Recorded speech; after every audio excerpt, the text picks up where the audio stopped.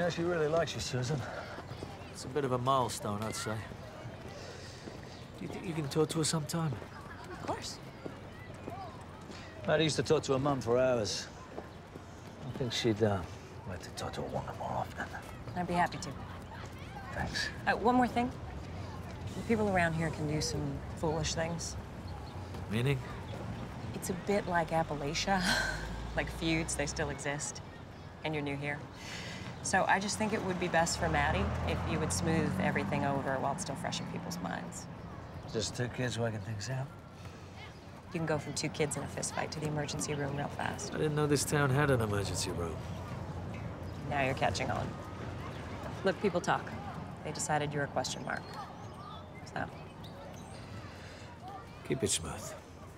Check.